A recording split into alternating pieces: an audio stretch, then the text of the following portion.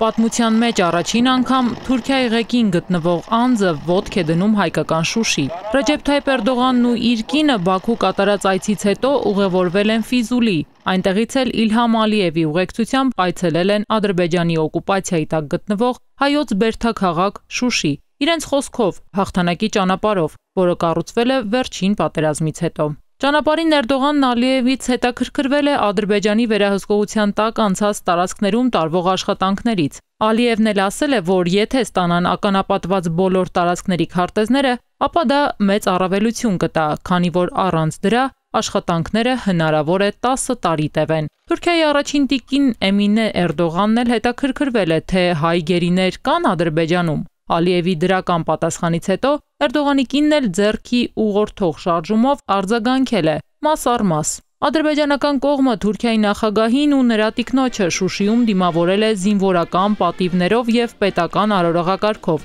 Հայոց Բերթաքաղաքում հնչել են Թուրքիայի եւ Ադրբեջանի օրհներքերը։ Ադրբեջանում նշանակալի են համարում Էրդողանի այցը Շուշի, Ադրբեջանի եւ Թուրքիայի միջև հարաբերությունների ամրապնդման տեսանկյունից։ Հայոց Բերթաքաղաքում Ալիևն ու Էրդողանը փաստաթղթեր են ստորագրել Արցախի զավթած տարածքների վերակառուցման եւ շինարարության համատեղ նախագծերի իրականացման, ինչպես նաեւ քաղաքական եւ տնտեսական ոլորտներում գործակցության վերաբերյալ։ Ադրբեջանում եւ Թուրքիայում համարում են, որ Շուշիում այդ համաձայնագրերի ստորագրումը կարևոր մեսիջ կդառնա որոշ ուժերի համար, որոնք Ղարաբաղի եւ Հարավային Կովկասի վերաբերյալ ծրագրեր ունեին։ Ալիևն ու Էրդողանը ստորագրել են նաև այսպես կոչված Շուշիի հրճակագիրը, որը շոշափում է երկու երկրների միջև պաշտպանական ոլորտում փոխօգնության հարցերը։ Իլհամ Ալիևի խոսքով ստորագրված փաստաթղթում կան հստակ դրույթներ այսպես կոչված Զանգեզուրի միջանցքի մասին։ Ադրբեջանի նախագահն ասել է, որ իրենք ոչ միայն խոսում են Զանգեզուրի միջանցքի մասին, որը կկապի Ադրբեջանի եւ Թուրքիայի ավտոմոբիլային ճանապարհներն ու երկաթուղիները,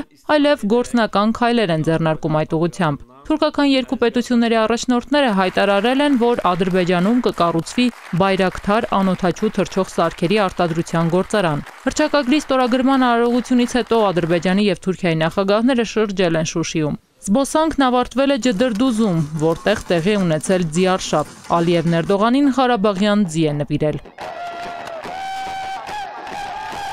Իլհամ Ալիևը Ռեջեփ Թայիպ Էրդողանին Շուշի տանող ճանապարից ցույց է տվել Ստեփանակերտը։ Էրդողանն էլ հետաքրքրվել է, թե արդյոք այնտեղ է գտնվում հյուրանոցը, որտեղ իրենք գիշերելու են։ Ալիևն էլ ցինիկ ծիծաղը դեմքին պատասխանել է. Ոչ, բայց այնտեղ էլ հյուրանոց կլինի։ Էրդողանն ու Ալիևը գիշերել են Շուշիում, Բաքու են մեկնել այսօր վաղ առավոտյան։ Թուրքիայի նախագահի այցը հայկական պատմական եւ մշակութային կենտրոն Շուշի Հայաստանի Հանրապետության արտաքին գործերի նախարարությունը որպես տարածաշրջանային խաղաղության եւ անվտանգության դեմ ուղված ակնհայտ սադրանք է որակել։ Հատկանշական է, որ այս այցելությանը նախորդել էր բռնի կերպով տեղահանված հայկական բնիկ բնակչության կրոնական եւ պատմամշակութային ժառանգության ավերումը, այդ թվում Արցախի դեմ թուրք-ադրբեջանական ուժերի կողմից սանձազերծված պատերազմի ընթացքում եւ դրանից հետո թիրախավորված Շուշիի Սուրբ ամենափրկիչ Ղազանչեցոց մայր տաճարի սրբապղծումը եւ հայոց ցեղասպանության զոհերի հիշատակին նվիրված հուշարձանի